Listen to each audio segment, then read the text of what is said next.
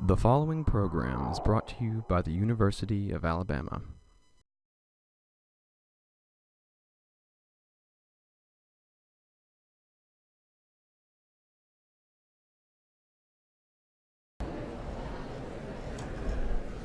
Well, good afternoon, everyone.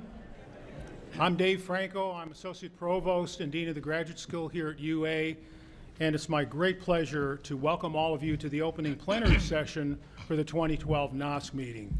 Before going any further on the program, the member schools of the Engagement Scholarship Consortium are listed in your program, and there are representatives of each university here today, and what I'd like to do is start out, have each of those representatives stand and so that we can recognize the fine work they do helping us organize this conference.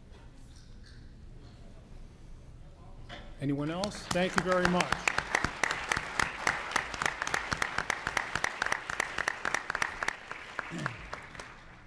Our opening plenary is going to be presented in two segments in keeping with the conference theme, which as you know is partner, inspire, and change. First, our presidential panel will discuss unique ways that their universities are partnering with communities and how that partnership is changing the academy. And then we'll have uh, a second part of the plenary, Ambassador James Joseph's inspirational keynote address. But before going any further, it's my pleasure to introduce our university's president, Dr. Guy Bailey.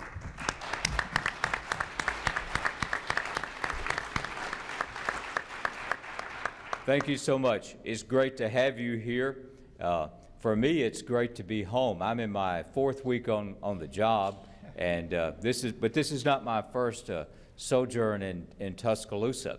I came here 44 years ago as an undergraduate, uh, left uh, 38 years ago, with, but with two degrees. I was here six years, but I like to point out to students I got two degrees during that time.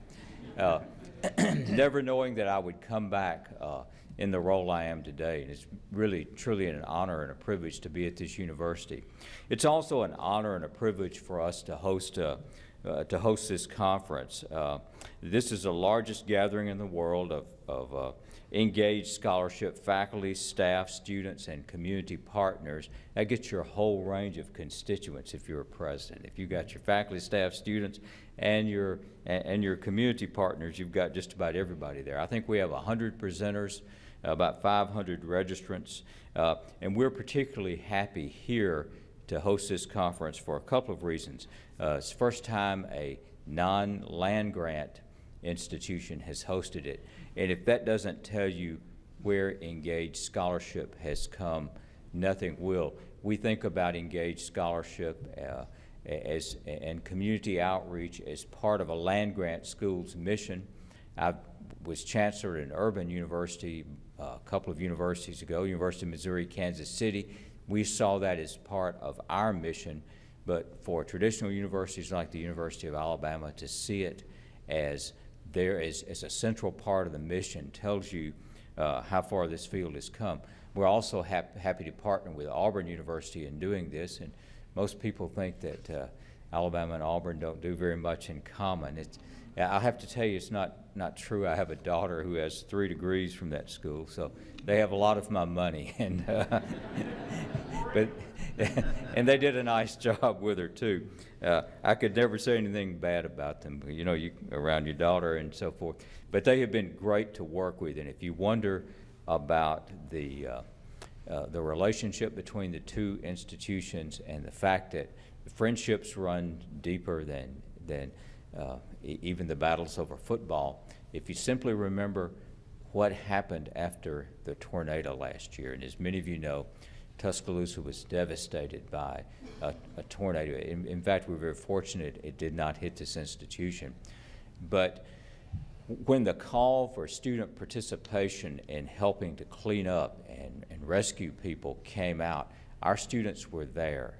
Uh, Auburn students came as well. And it was very gratifying to see Auburn faculty, students, and staff, our students and staff, all working together on that.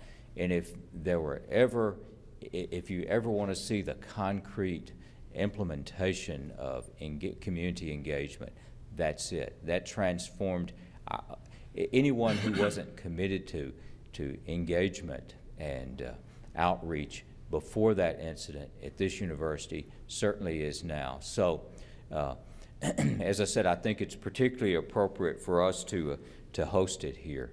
And uh, I'm looking forward to the presentations, to hearing from my fellow presidents uh, as well. And I want to offer some special thanks to people who've made this conference possible. Dr. Hiram Fitzgerald from Michigan State University, president of the ESC board, uh, the entire ESC board, Dr. Dr. Fitzgerald and the board members. Would you raise your hand? Or, uh, so, we, yes. Thank all of you very much. At our university, Dr. Carolyn Dahl and the, the uh, uh, College of Continuing Studies and their staff for their extensive work in planning and implementation, and Dr. Samory Pruitt, uh, who works for me and uh, keeps me focused on this issue even when my mind tends to wander somewhere else. And then special thanks to all who are listed in the conference program. It's, it's a delight to have you here. I think the weather's going to clear up and you're going to enjoy beautiful October days in Alabama. Again, welcome very much.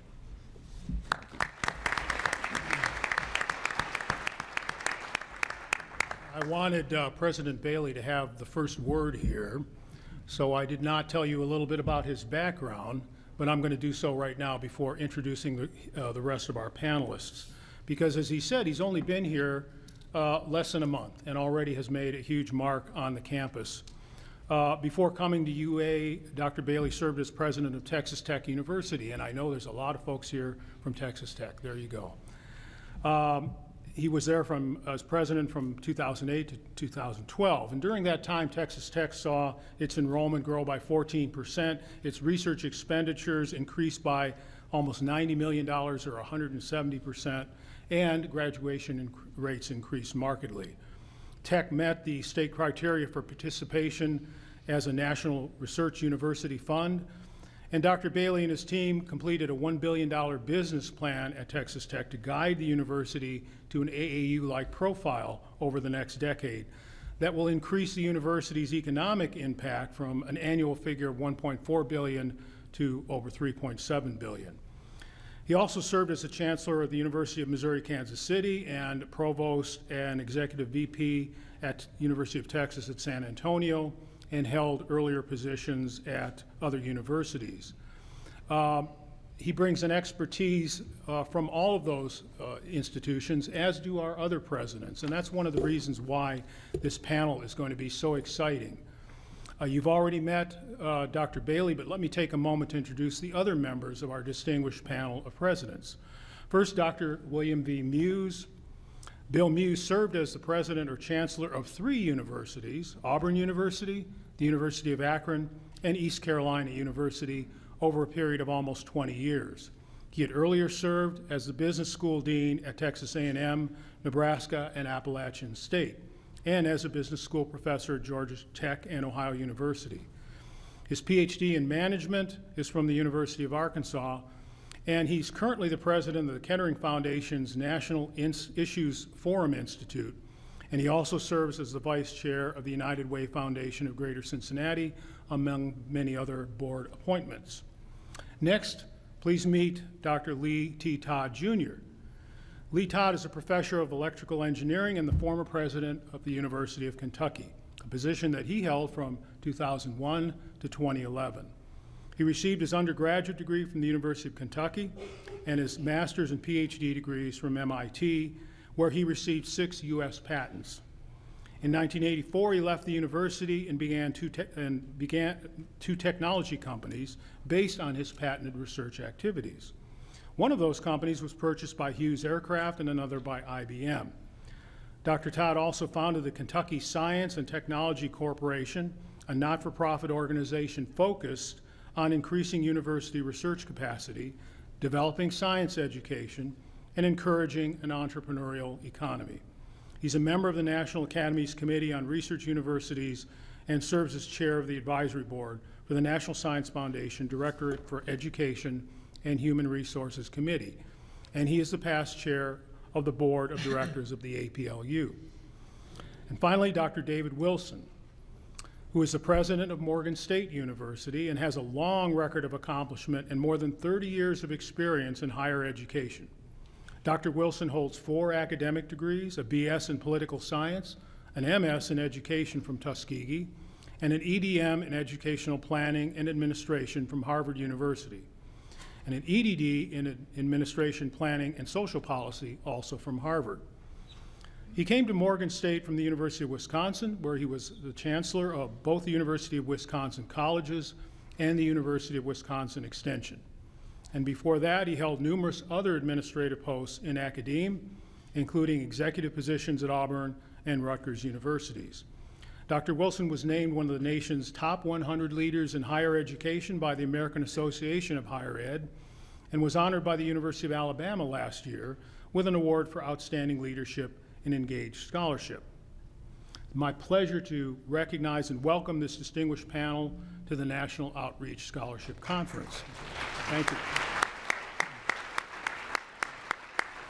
Now, we anticipate a lively discussion with our presidents here, and we might begin this conversation by asking our presidents two simple questions, which are not all that simple. Why their respective campuses see engaged scholarship as an important part of their mission, and secondly, how their campuses have supported this approach to scholarship and what have been the challenges that they have seen in supporting engagement scholarship in their respective campuses. Gentlemen, go ahead and whoever wants to start first. Go ahead. Well, I had the opportunity to um, serve as president or chancellor for three universities uh, over a, a period of about 20 years. And for 15 years prior to that, uh, worked in academic administration. So my comments will be focused on really a composite of um, all of those experiences in terms of engaged scholarship. But I'd have to tell you that my philosophy about what constitutes engaged scholarship and the importance of engaged scholarship was shaped much earlier. As, as a young boy, I became captivated by the sport of baseball. And I read every book I could find about how to play the game. But I learned very quickly that in order to play the game well, I had to venture out on the field. And that is where the real learning took place over a period of practice and putting into place what I had practiced to do. And this shaped my educational philosophy.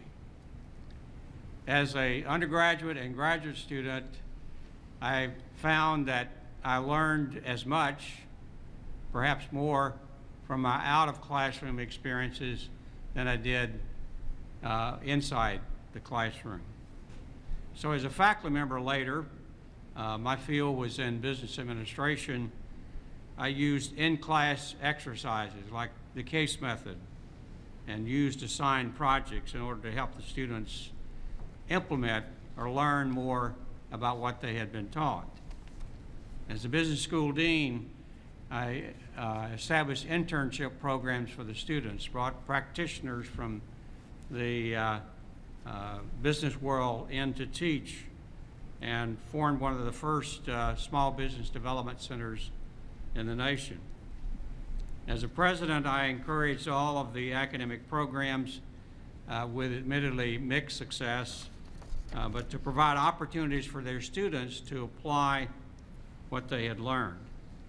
I'm very proud of one of the uh, uh examples of where an academic program really did an outstanding job of that, and that is the rural studio that was implemented by the School of Architecture at, at Auburn in the Black Belt here in Alabama.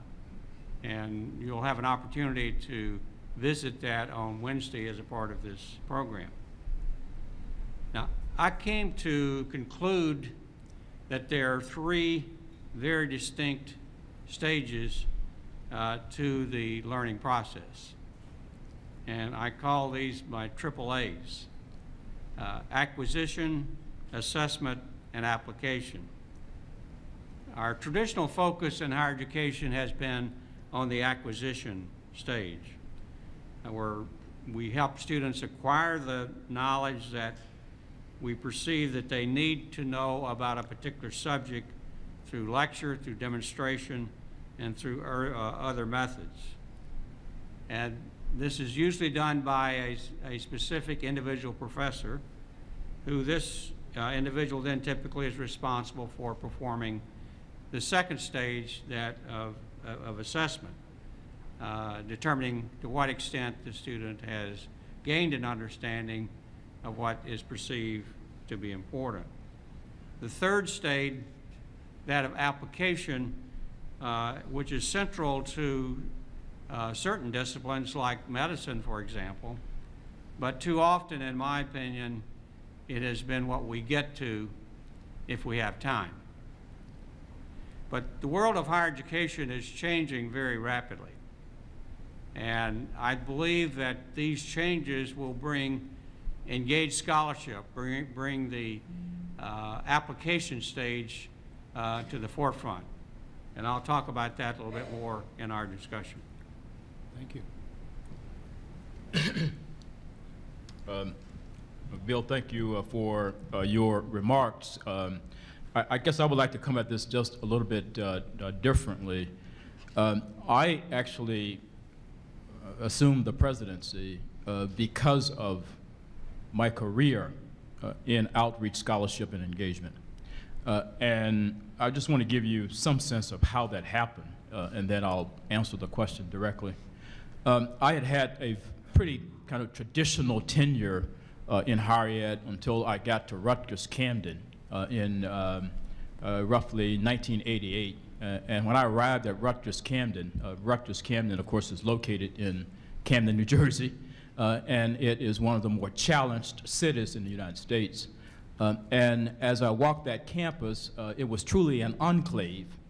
And what I heard in the city of Camden was that there was this understanding amongst residents that Rutgers was in Camden, but not of Camden.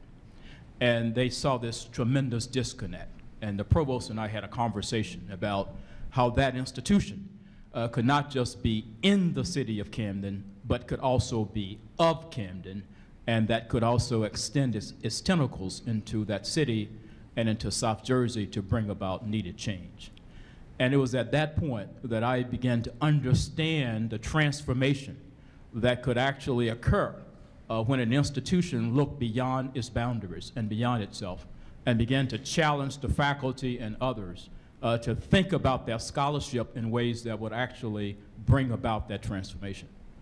And while having just the time of my life at Rutgers Camden, uh, my telephone rang, and of course, it was the gentleman to my right, Bill Muse, uh, who was the president at Auburn, and who had come to Auburn with the same kind of perspective in terms of the role of an institution that I had been a part of in terms of the transformation at Rutgers Camden.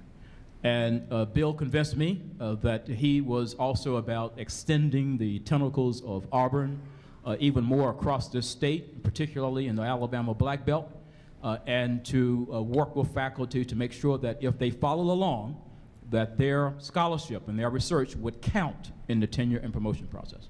Uh, and so for a very long period of time, seven years to be exact, we worked assiduously uh, with the faculty senate, with uh, others uh, at the university, uh, to bring about a reform of the tenure and promotion process at Auburn to reflect the fact that if, if, if faculty uh, actually engaged in this research, engaged in this scholarship, and apply it, that they would actually be promoted in the tenure and promotion process. And so, with that kind of backdrop, let me just say a word or two about uh, what I do now, uh, and then I'll uh, bring this to a close. Um, I'm the president of Morgan State University in Baltimore. And for those of you who don't know much about Morgan State, we are an institution of roughly 8,200 students. But we have a number of firsts associated with us. Uh, we are uh, the first, or I should say, number one in the United States uh, in producing African American electrical engineers. Uh, we are number three in the United States in producing African American engineers overall. Um, by the way, North Carolina A&T is number one, Georgia Tech number two, and we're number three. Uh, we are number three in the United States in producing African American doctoral recipients. Howard University being number one, University of Michigan being number two, and we're number three. And when I came on board, um, the institution, much like Rutgers Camden, uh, found itself having paid a whole lot of attention to producing those graduates to lead uh, the nation in innovation, but had not paid a lot of attention to how the institution could transform the area where the institution is located in northeast Baltimore. And that particular area, too, is beset with a number of challenges. And so for an entire year, uh, we engaged in a strategic planning process uh, to think about how this research institution, as it continues to grow and mature, would not just do that for the sake of becoming just another research institution. How could we do it with applied scholarship and research in mind? And so uh, we have uh, introduced uh, something at Morgan that we're calling the Morgan Community Mile. In essence, we have drawn a circle around the campus that is a one mile radius. And that's going to be our focal point for the next 10 years. And we are now conducting an extensive analysis of everything within that mile unemployment, the nature of small businesses, education uh, attainment. Uh, we're looking at uh, the rate of innovation within the mile, crime within the mile. And basically, we are then bringing those results back to our faculty and are saying to our faculty, if you join us in bringing about reform in Northeast Baltimore with Morgan as the anchor institution, when you're up for tenure and promotion, it is going to count, and you can come back at any given point in your life and look at what your work has led to in terms of the difference in the lives of the people that it has made. Uh, so I have much more to say about that, but I'll stop there. I'm eager to hear that. So uh, I'll give a bit of a personal story about why I thought engagement was important. Uh, I came out of, I've been in business for 18 years um, when I started the presidency at UK. But primarily, my wife and I are native Kentuckians from rural Kentucky, started first grade together, and uh, cared about the state. I made a comment when I interviewed that I don't be the president of a university, I don't be the president of this university. Part because I thought that the University of Kentucky could change Kentucky, and, and it needed it. Later in my uh, year, my first year, I came up with a term called Kentucky Uglies. it just hit me one day. I was speaking at a health conference, and I looked at the statistics, and I said, "Damn, this is ugly." And I said, if we don't face up to it, if we don't count this stuff, if we don't measure this stuff, we're never going to solve it. We did a bus tour the next year throughout the state to talk about our research challenges. And I looked through a book the other night, and there must have been 100 headlines about that trip, and all of those had Kentucky Uglies in the headline. It at least drew attention to the fact that we're going to talk about these things that have been holding us back. We're leaders in lung cancer, health, con, uh, heart conditions, uh, poor oral health, and so forth. But when I took the, the job, uh, it appeared to me that the university had been acting like it was already a big research university, stiff arming the K through 12 system and not doing much, not working in the shadow of our dormitories on some of the problems that were really eating at our city with the, the gap between the, the students that were in our population. And I made the comment that you know, we need a higher purpose. We've been challenged by the governor to become a top 20 public research university. And we could do that. Let's just hire a bunch of scientists and engineers. Let's go after the federal grants. Let's forget about you know arts and sciences, the arts, uh, some of these other colleges, and we can be top 20 measurably by 2020. But we'd fail the state of Kentucky. We need to change Kentucky. I'd like to see our best minds working on our toughest problems. And uh, that attitude, and I think you hear it from these two presidents, uh, it, it, helps when it comes from the president's office. Uh, it, it, makes uh, people at least listen. It's unfortunate, but it, that's the way it works. I realized that we were a land grant university. We had an ag extension network that had done a tremendous job. I call them our trusted ambassadors. Everybody knew them. Um, they were out there, and they were doing agriculture and family nutrition very well, but I thought they were undervalued for what they could do. We had a conference of um, all the ag agents my first year, and I asked six of our deans from business and engineering, healthcare, and so forth to speak to that group of agents about how they could use their network for research in their fields. After that, the six deans lined up on a table, and uh, the biggest line was behind the fine arts dean.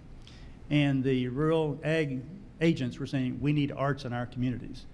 And I'm proud to say that we have probably the only fine arts ag agents in the country right now. I think we have four of those, and the counties pay for them.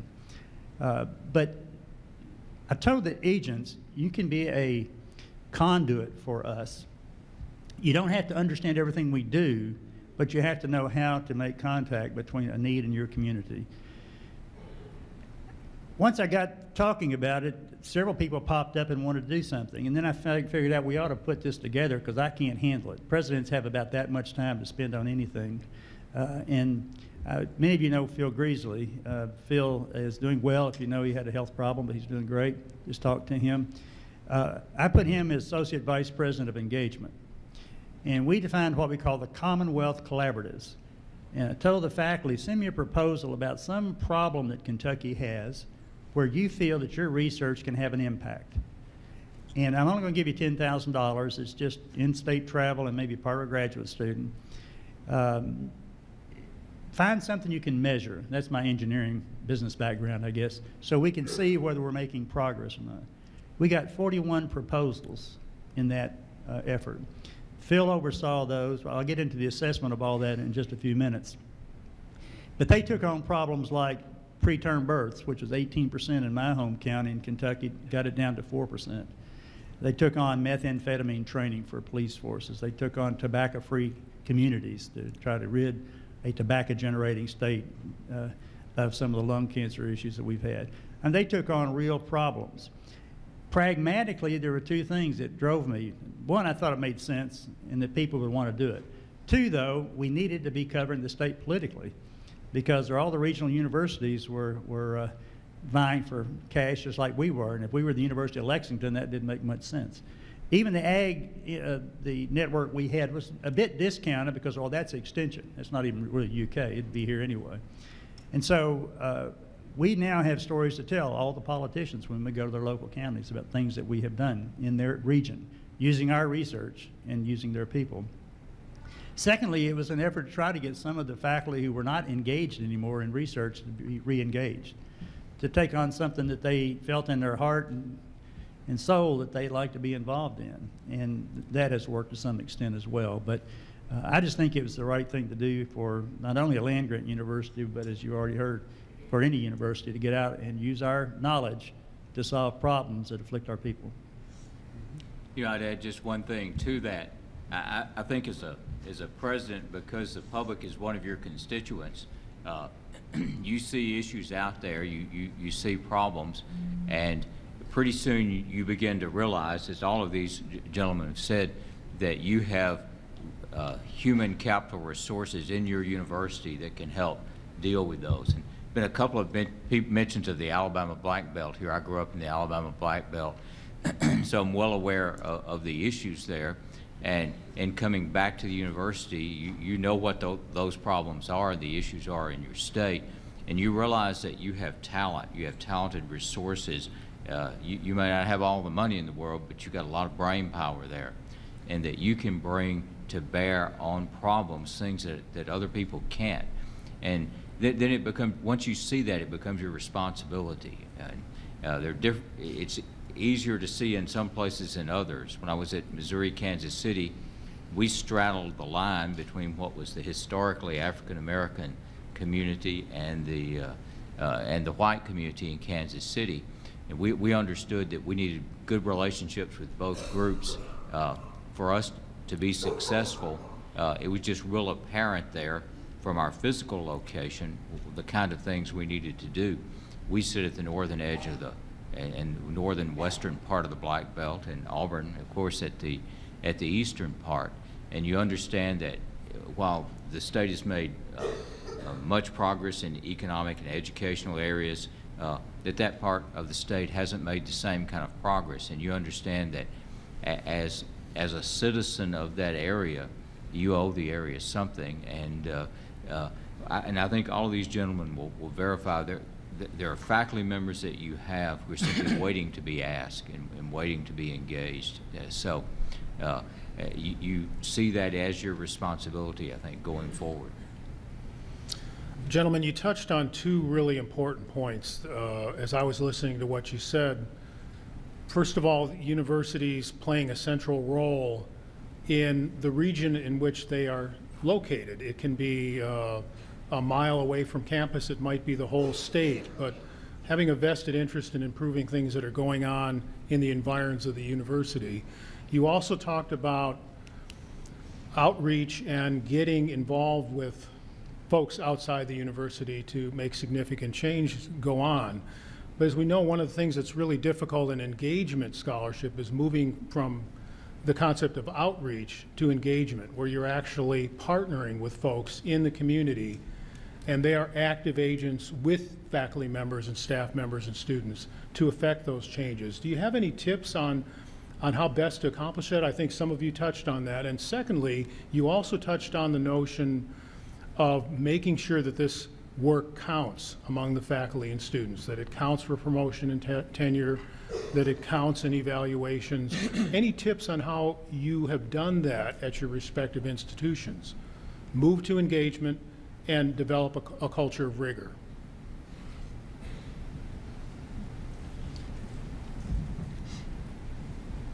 I have, I have actually uh, relied upon uh, a strategy that, uh, two, I developed uh, when I was at Auburn.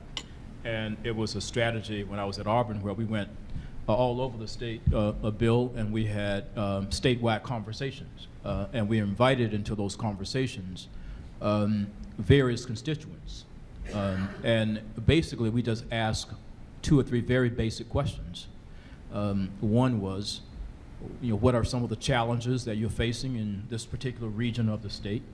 Um, and are there programs coming from the institution that perhaps have been in place for 20, 25 years that are not working to meet those challenges? And what is it that we can take back to the institution in order to um, excite our faculty about working with you to identify the challenges that you raise? And that strategy actually um, worked very, very well for us when I was at Auburn to produce this sense of engagement, not just we are the university, we know it all, you are the community, you know nothing, so to speak, and therefore we are coming to treat you. Uh, engagement is just the opposite. It's, uh, you have a series of challenges. Uh, the community perhaps understands those challenges just as well, if not better, than the university. The university has certain kind of expertise, and so how do you bring those two things together and make them work for the betterment of all? Uh, I used the same strategy when I was chancellor of the University of Wisconsin Extension and the University of Wisconsin Colleges. Uh, we went all over that state, uh, engaging all constituents in the same kind of way. And at the end of the day, I think the constituents felt that their voices were heard, uh, that whatever came uh, about as a result of that conversation in terms of a strategic plan, it was with them in mind. Uh, the faculty felt that they had a part to play in that, and, and so that worked very well there. And then uh, at uh, Morgan, um, I, I- do something uh, a little bit different. Um, I, I actually have um, community walks. Um, uh, I uh, walk the neighborhoods, uh, four o'clock in the afternoon, six o'clock at night. Um, I have residents actually to gather in their homes, and we have coffee and tea, and we talk about um, you know, what the challenges are on this block. What are the challenges within a three or four block area? And I take faculty members with me so they can hear those things directly. And when I got to uh, Morgan, the neighborhoods there didn't trust the university at all because they had seen the university actually develop and the construction projects were enormous, you know, $500 million in construction, and they're seeing all these wonderful buildings go up, but nothing is happening in terms of the way they're seeing the world. Uh, and so I recognize that, and so now we have uh, the great support uh, of all of those neighborhood associations, but the faculty who are part of those walks and who are part of those conversations, they understand as well, you know, how to work with the communities in order to uh, promote uh, the kind of reform that I spoke about earlier.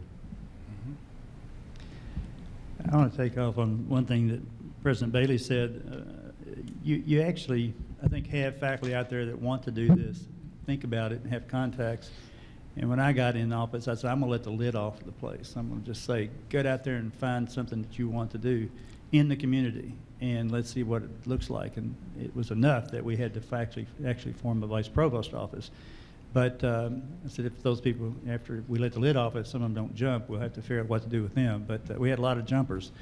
The other piece of it was that uh, we ended up putting up a website where we could, you could go to any county in Kentucky, click on the, your county, and it would show how many engagement uh, contacts we had in that county and the telephone number for each one of those contacts.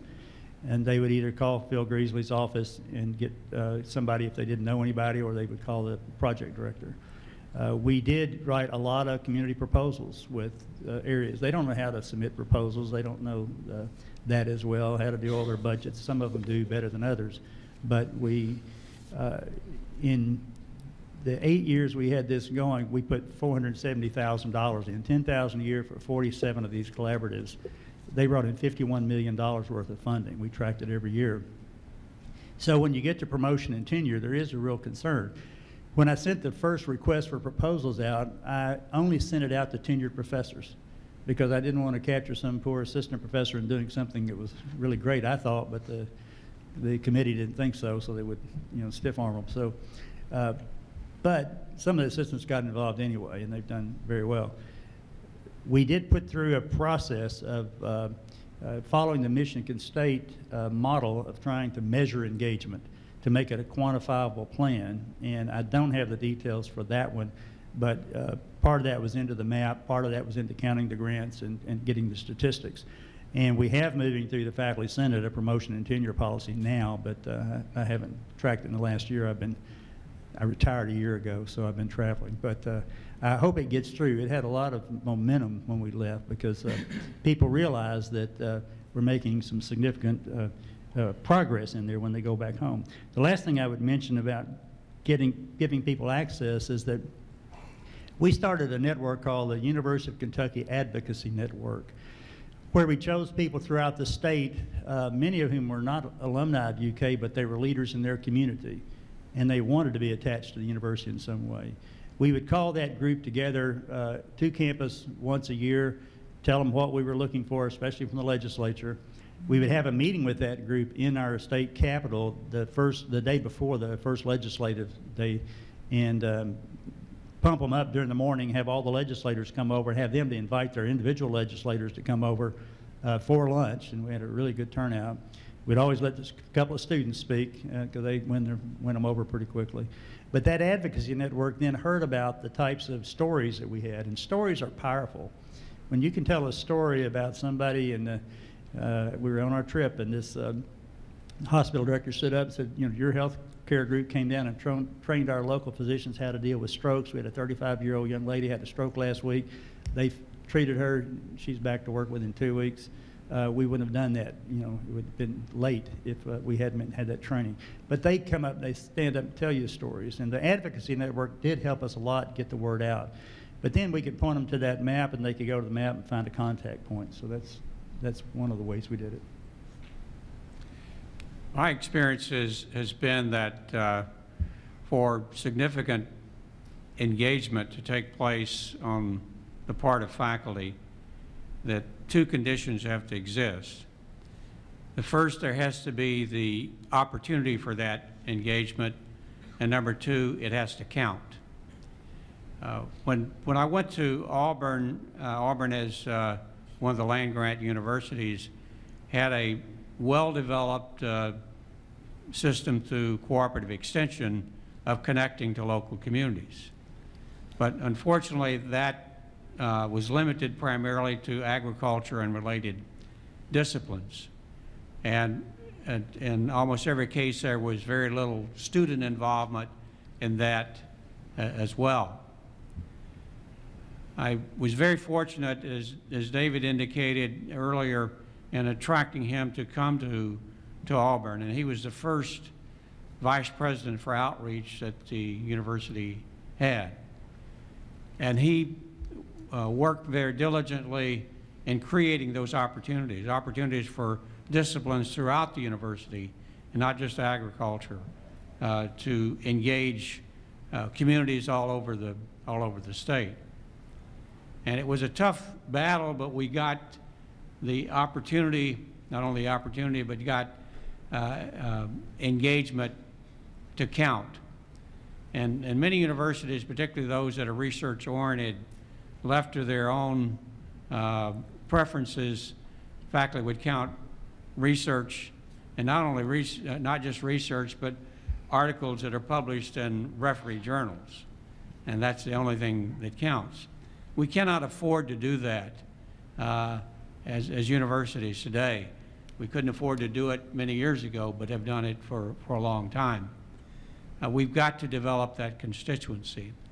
And if we have the, the kind of work uh, that is done by faculty when they engage uh, communities and help them understand what they know about that uh, problem or problems that they're dealing with. And when they engage their own students in helping to solve that problem, they create tremendous support for the university uh, that is very important, particularly in terms of, of attracting state funding. And, but you have to have leadership from the top. You have to create the opportunity, and you have to make sure it counts. Just one quick thing, uh, two quick things, really. I, I want to emphasize what President Wilson said. I think the, the, the listening to, uh, to, to community members, you, you can't overemphasize enough. They have insights that you can't get any other way. And, uh, you know, it's our, especially as presidents, it's our, uh, our inclination to talk.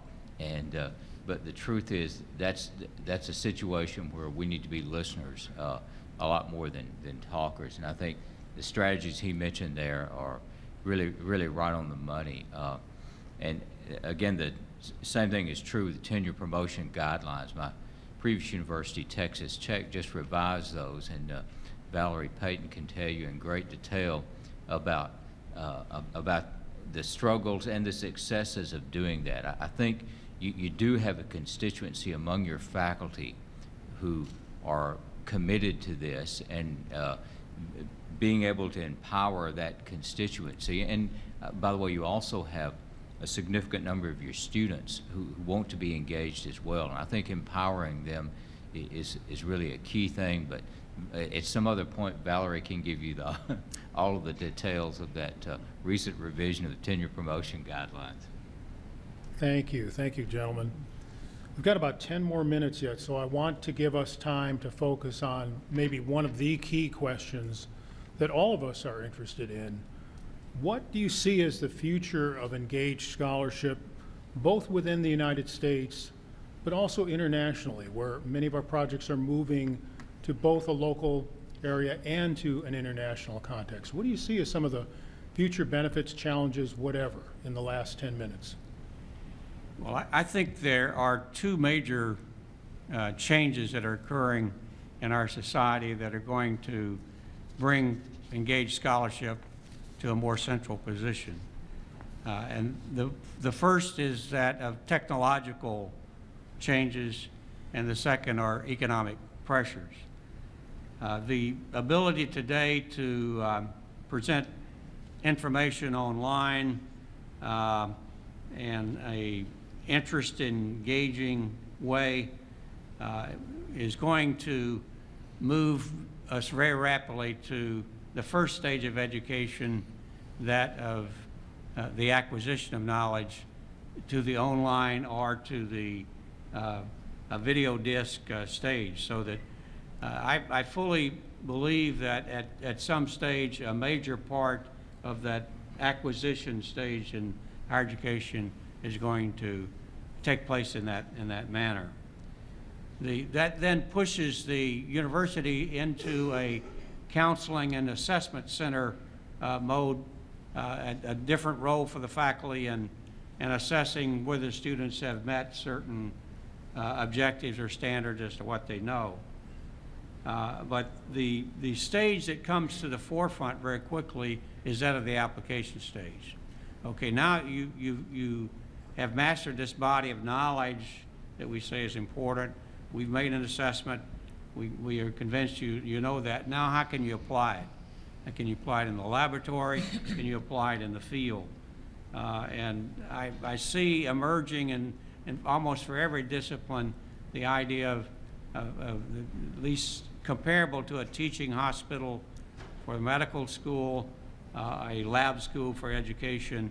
Everyone has got to have that constituency where they are, are, much engaged in, in helping students understand the, uh, the, the discipline that they, they've taught them. And a major part of that is not just uh, information that relates to employment or job, but in preparing students to be good, good citizens. And that's a, a major role for colleges of liberal arts uh, uh, to engage in.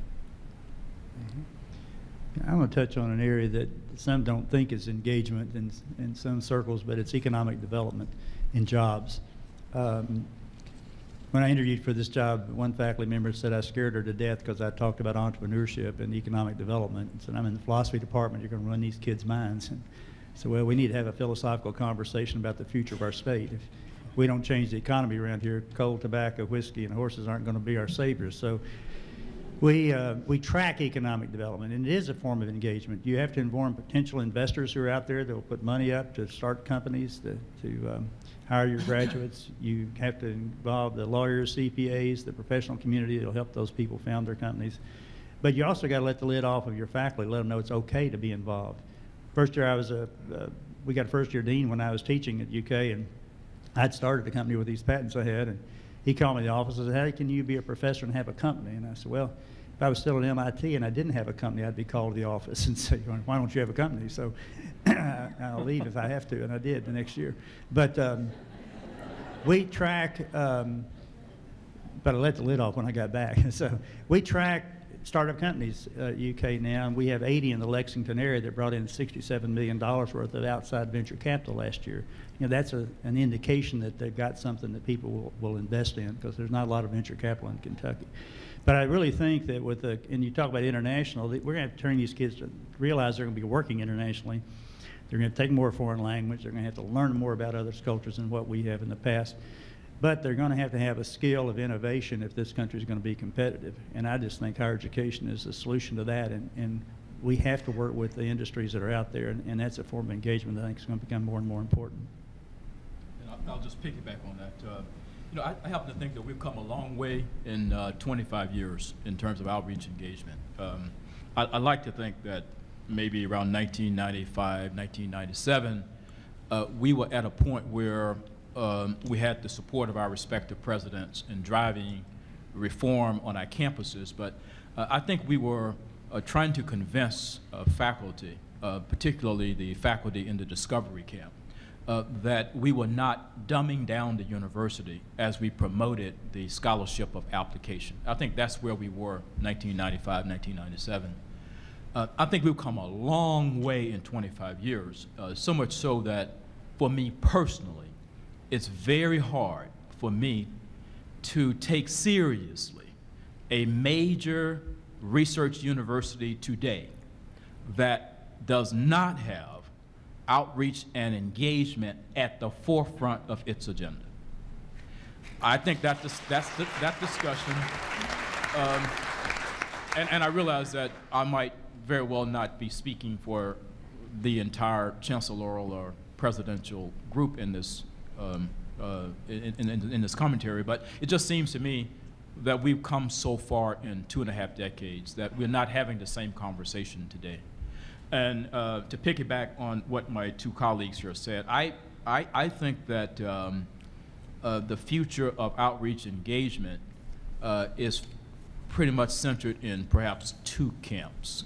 And one camp may be somewhat of an unlikely camp. And this is the way I would characterize it. Um, what we are seeing in this country right now is a uh, shifting of the population. We're seeing a huge demographic shift in the country and we're seeing the largest growth in the population occurring uh, in the minority sector. Uh, the Latino population, um, uh, African American population, multiracial population, but particularly uh, the African American and Latino population. And those populations are the least well represented populations in college degree attainment. And so um, outreach and engagement, it seems to me, is going to be absolutely critical to ensure that those pockets of the population that are the fastest growing pockets that are not well prepared are as well prepared to enter colleges and universities are prepared to do so. Else, as um, Lee and, and Bill uh, and uh, President Bailey have indicated, I don't think the country is going to be competitive long term. And so therefore, our major research universities have to make a different kind of argument about outreach and engagement, that we really do need to get out there and connect with these communities and connect with those populations, because if we don't, then who really is going to be on our campuses uh, in 15 to 20 years? Uh, so it's almost self-serving on the one hand, but it's also about national competitiveness on the other. Uh, the second camp is, I think, that of uh, what I see as a dwindling of state support for the public universities. And I know uh, increasingly, as I go to Annapolis to argue for support for my institution uh, and others, uh, we increasingly hear, well, so what are you doing for the state of Maryland? Uh, what are you doing for the state of Baltimore? What are you doing for my district?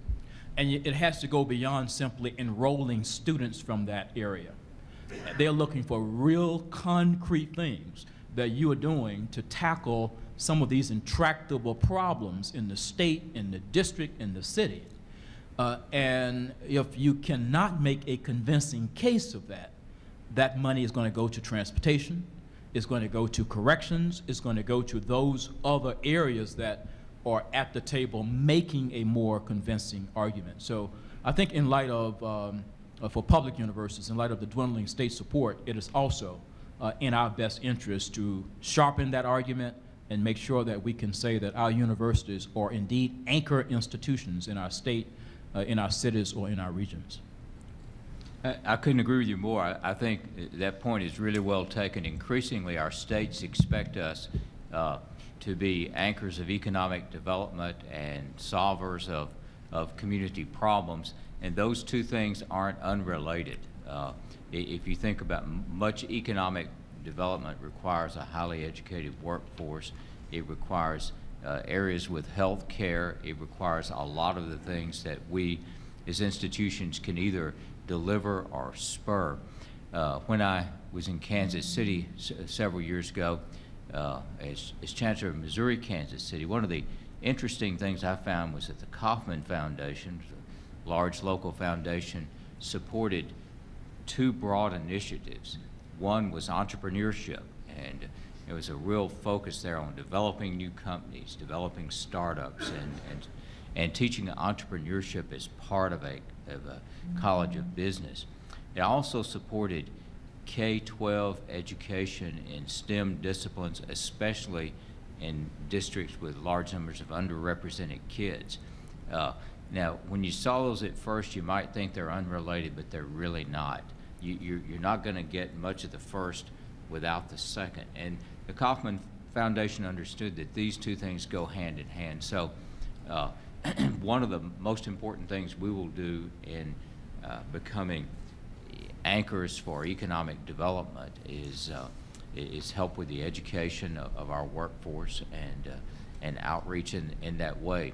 Uh, and increasingly, as, as President Wilson said, it's, it's not just our obligation it's what's expected of us. It's not what we, just what we expect of ourselves or what we want to do, but what the states expect for us. And so to be successful, I think we have to develop good strategies for meeting those expectations. Thank you.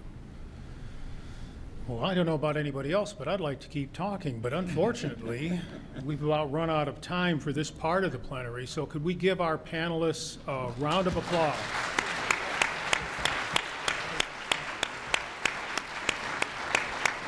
Thank you, thank you very much.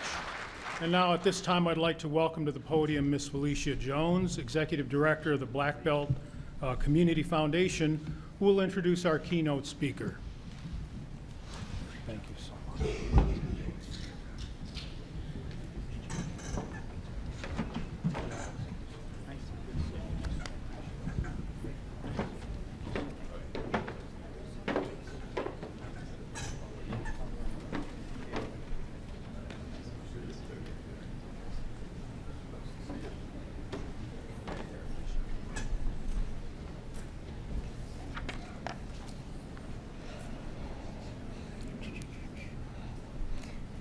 Good afternoon.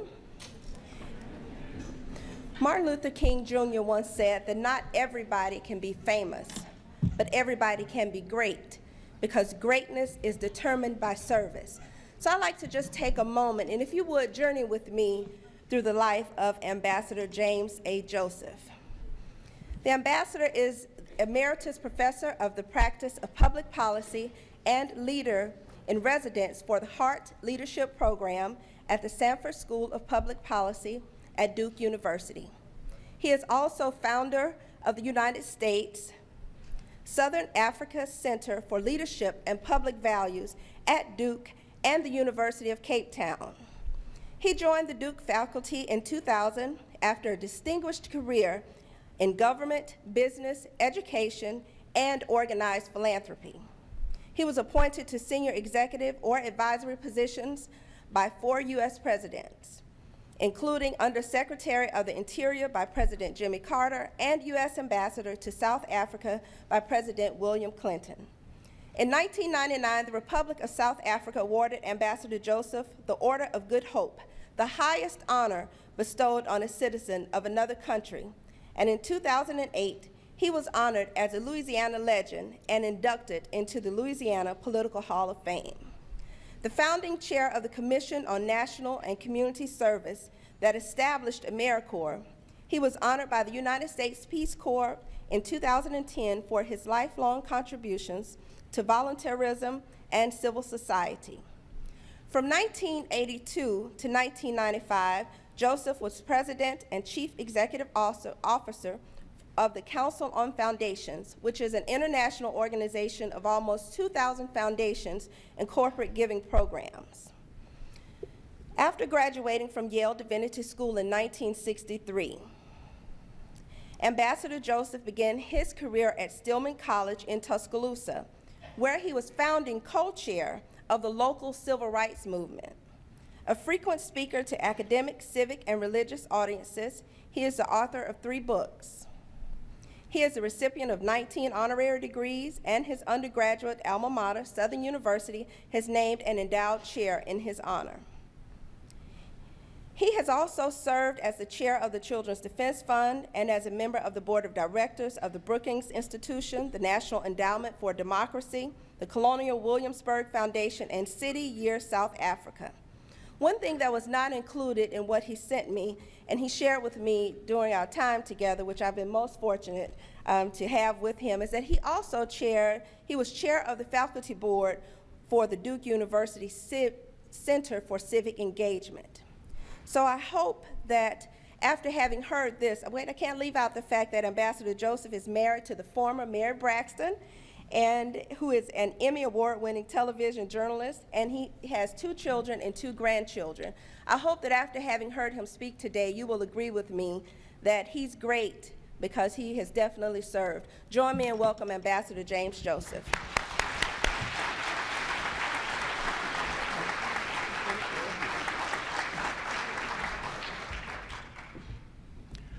Thank you very much. I spend a lot of time talking to a lot of audiences in different parts of the world. So one of my favorite pastimes is listening to introductions. they tell you something about the expectations of the host and also provide information that helps shape your message. When I was in the Carter administration, I was in the South Pacific to swear in the newly elected governor of one of the American territories. When I was invited to address a joint session of the legislature, just before I was scheduled to speak, I leaned over to the Speaker of the Assembly and said, Mr. Speaker, how long do I have to speak? And he said, Mr. Undersecretary, you are a guest. You may speak as long as you wish, but I must caution you that in about 25 minutes, the lights are scheduled to go off across the island. that seems to be good caution when people have been sitting for a while. But first, let me say what a, a delight it is to return to Tuscaloosa.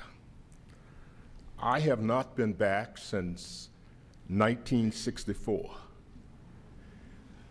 A year after three local ministers and I launched the Tuscaloosa Citizens Action Committee. Those were difficult and those were dangerous times, but the movement we organized not only desegregated this community, but opened the door for the many advances that followed.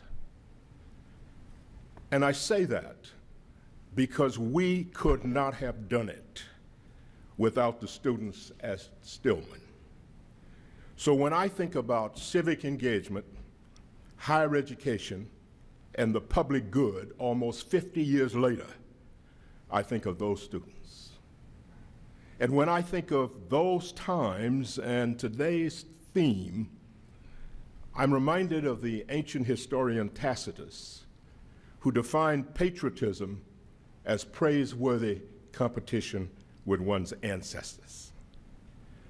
Now, I recall that definition of civic virtue today because it reminds us that each generation has an opportunity, indeed an obligation, to contribute something as significant and even as extraordinary as the generations that preceded them.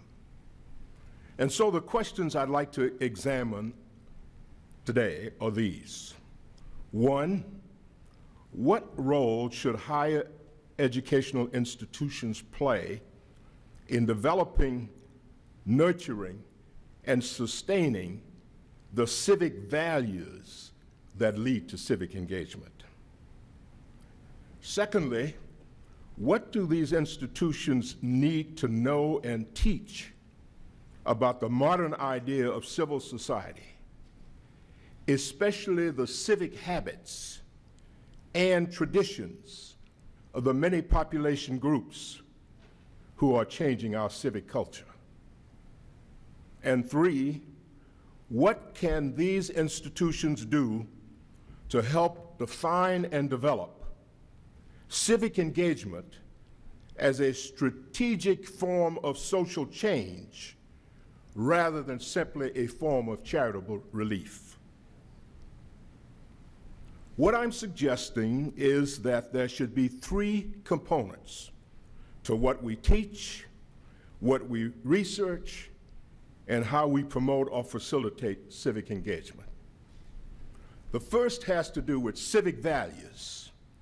The second has to do with civic knowledge. And the third has to do with civic habits.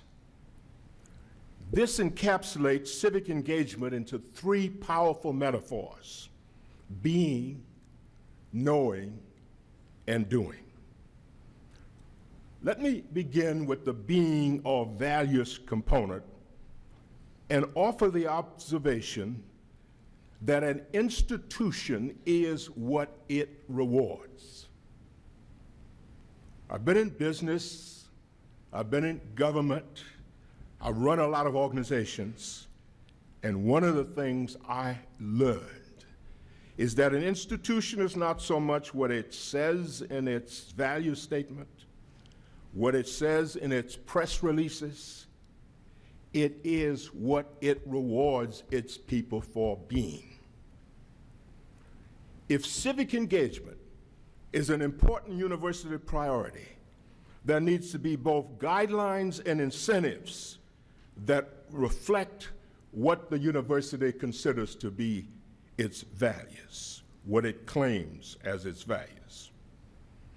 It is not enough to simply provide incentives for students through service learning. There must be incentives to unleash the research capacity of the university as well. I was here and I heard what the president's panel said, and I'm so pleased that they represent institutions that get it. But as I travel around the country, I find an institutional culture that seems to regard practical investigation into practical community needs, as Dr. Wilson said, as the dumbing down of research. Too many of our faculty colleagues tend to regard those who teach about civil society and those who call for civic engagement, in Robert Louis Stevenson's phrase, as practitioners of an obscure art. I'm pleased, as I said, that there are universities that get it. They are the ones who understand that one of the missions of a university is to put knowledge at the service of society. But one of the things I've learned over the years that the best universities are those who also put the university, the community at the service of knowledge. The second point I want to make about civic values is that we need to be very clear about what values we need to cultivate. I've taught ethics at a number of universities. And for too long, those who teach ethics have focused on the private virtues that build character to the exclusion of the public values that build community. It may be that what we need most at this unique and almost apocalyptic global moment is to help both our students and our society understand how best to think about and how best to apply values to public life without getting caught up in the politics of virtue or the parochialism of dogma. I've been living in South Africa full or part time for the last 16 years. And there's much that we can learn from a concept of community the South Africans call Ubuntu. It is best expressed by the Xhosa proverb people or people through other people. It is this powerful sense of the shared interdependence of people that lies behind the spirit of forgiveness and reconciliation reflected in the work of Nelson Mandela and Desmond Tutu. It is the ability to say that your pain is my pain that has allowed them to say that if your humanity is assaulted, my humanity is assaulted. If your dignity is denied, my dignity is denied. It is not, I think, therefore I am. It is, I am human because I belong. I participate. I share because I am made for community. At the heart of this spirit of Ubuntu is the willingness to take risk and to act justly and with compassion to one another. So, what does it mean to speak of values that build community in a world that is integrating and fragmenting at the very same time? The more interdependent we become, the more people are turning inward to smaller communities of meaning and memory. While some find reasons for despair, it may be that remembering and regrouping are part of the first stage of the search for common ground. As I travel around the world, I hear more and more people saying that until there is respect for their primary community of identity, they will find it difficult to embrace the larger community in which they function. We will thus find it difficult to form a more perfect union in the United States as long as we emphasize the myth of individualism that leads to greed, to the exclusion of the tradition of community that saw people come together to build each other's bonds and to ensure that there was a public safety net for those in some way disadvantaged. The principle, the second principle in which our idea of community needs to be grounded is one I often quote from the African American mystic, poet, and theologian Howard Thurman, who was a mentor to Martin Luther King at Boston University. Dr. Thurman was fond of saying, I want to be me without making it difficult for you to be you. Can you imagine how different our world would be if more Americans were able to say, I want to be an American without making it difficult for Arabs to be Arabs, Asians to be Asians, and Africans to be Africans? Can you imagine how different our communities would be if more Christians were able to say, I want to be a Christian without making it difficult for a Jew to be a Jew, a Muslim to be a Muslim, or a Buddhist to be a Buddhist? So, how do we build community? It has been my experience that when neighbors help neighbors, and even when strangers help strangers, both those who help and those who are helped are transformed. They experience a new sense of connectedness. Getting involved in the needs of the neighbor provides a new perspective, a new way of seeing ourselves, a new understanding of the purpose of the human journey. When that which was their problem becomes our problem, the transaction transforms a mere association into a relationship that has the potential for new communities of meaning and belonging. In other words, getting people to do something for someone else, what John Winthrop called making the condition of others our own, is the most powerful force I know in building community.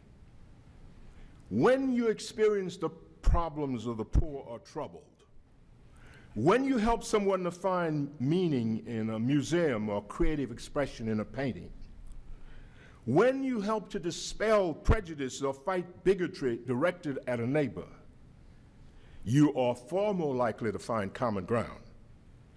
And you are far more likely to find that in serving others, you discover the genesis of community.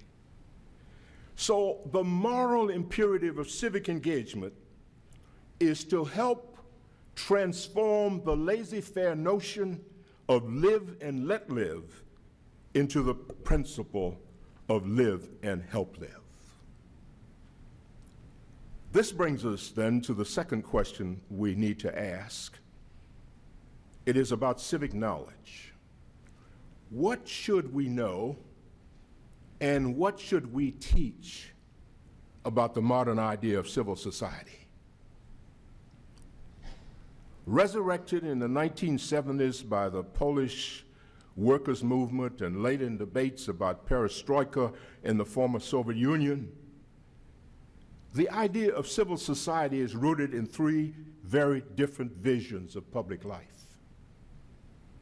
The first was the idea of civil society as government. Civility for Aristotle described the requirements of citizenship rather than private sensibilities or good manners. It was organized around the face to face relationships of friends whose leisurely aristocratic, aristocratic benevolence enabled them to discover, articulate, and promote the public good. The second is the idea of civil society transforming government, often in opposition to government. I was standing on the edge of a crowd in the former Soviet Union when an upstart named Boris Yeltsin made his first speech calling for major social reform. I was standing in a crowd outside of Parliament in Cape Town when Prime Minister de Klerk announced that Nelson Mandela would be released from prison and the ANC on band. On each occasion, people spoke of the rebellion of civil society against the state. They did not so much want to replace the state as they wanted to transform it. The third idea of civil society has been the notion of civil society transcending government. Unlike the private sector driven by the market and the public sector driven by the ballot, the so-called third sector is driven by something deeper and more noble, a spirit of compassion and commitment to the common good. It is in many ways the conscience of the other two sectors. It is even possible to argue that since civil society preceded government, it may be more appropriate to think of it as the first rather than the third sector.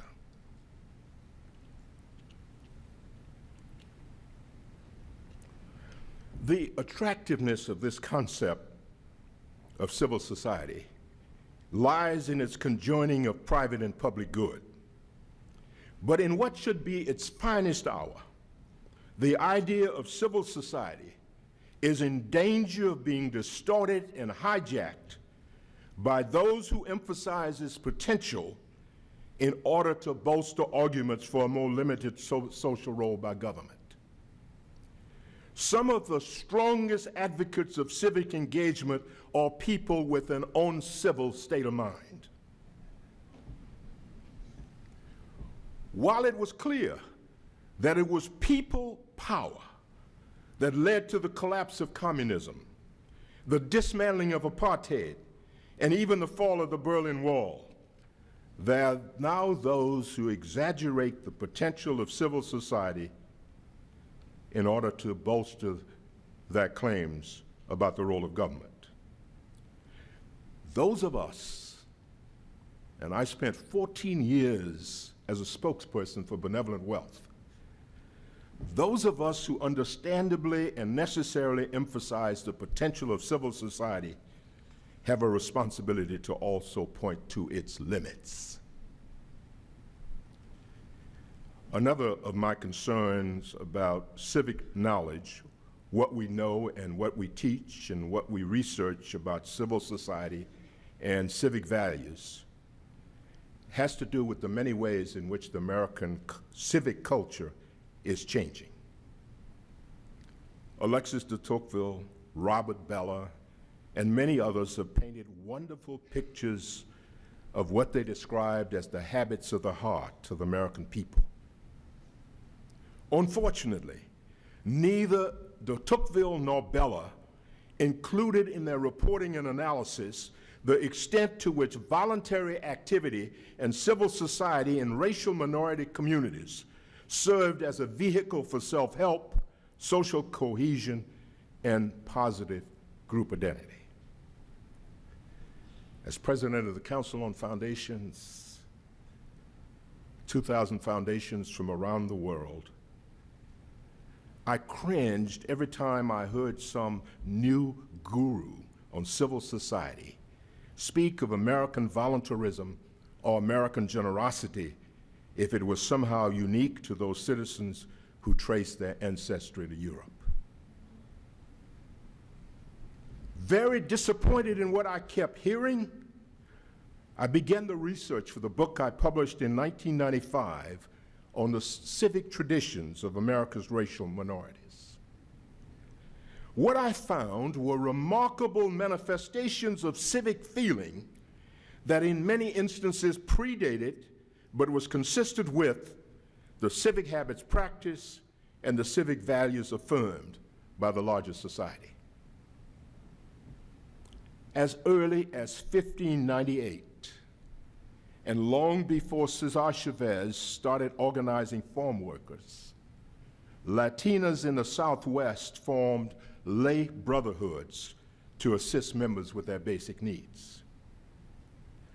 Long before de Tocqueville, Benjamin Franklin became so enamored of the political and civic culture of the Native Americans he met in Pennsylvania that he advised delegates to the Albany Congress in 1754 to emulate the civic habits of the Iroquois.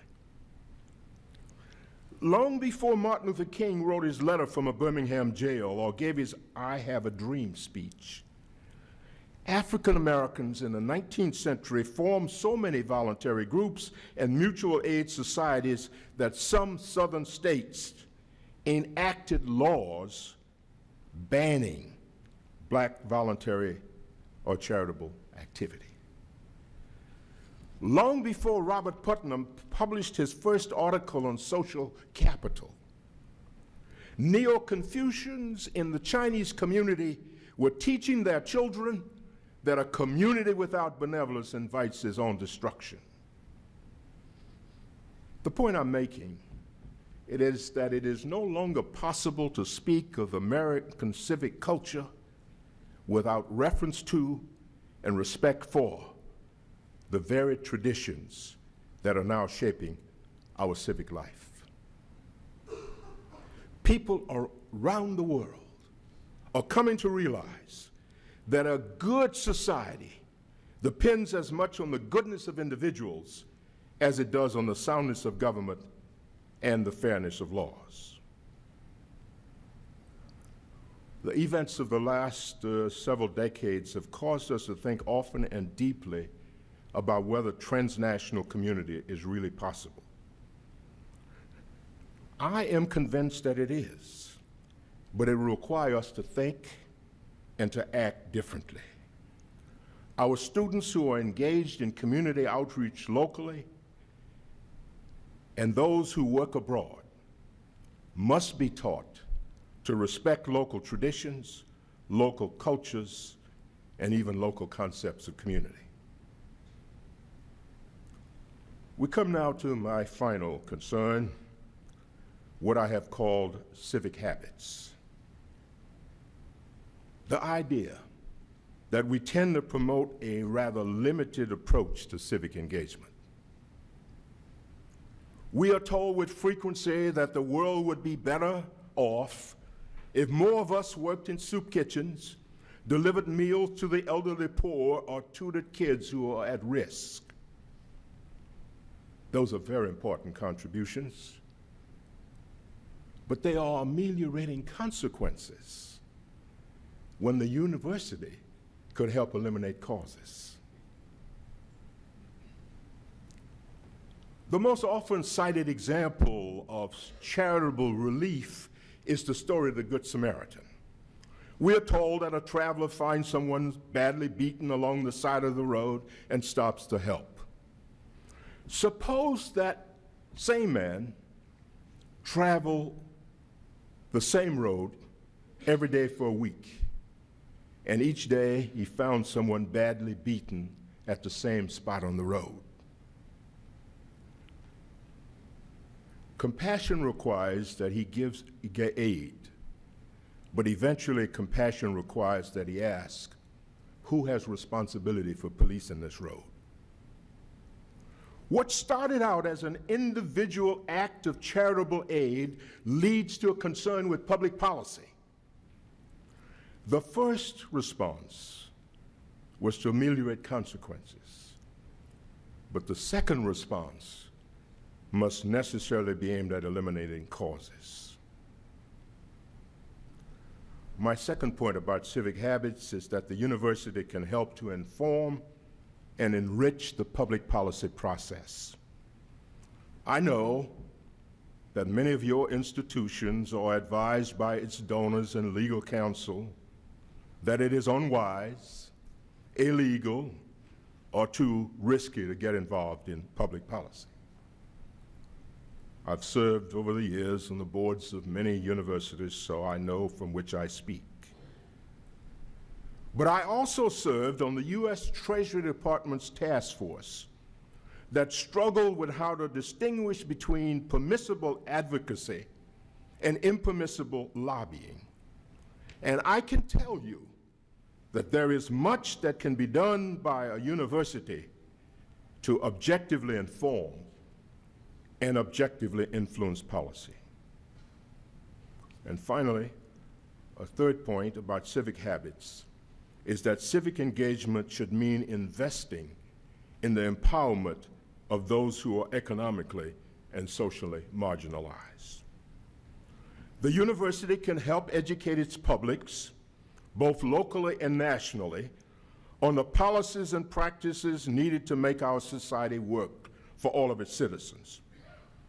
But it is not enough to be simply advocates who speak in behalf of the marginalized in our communities.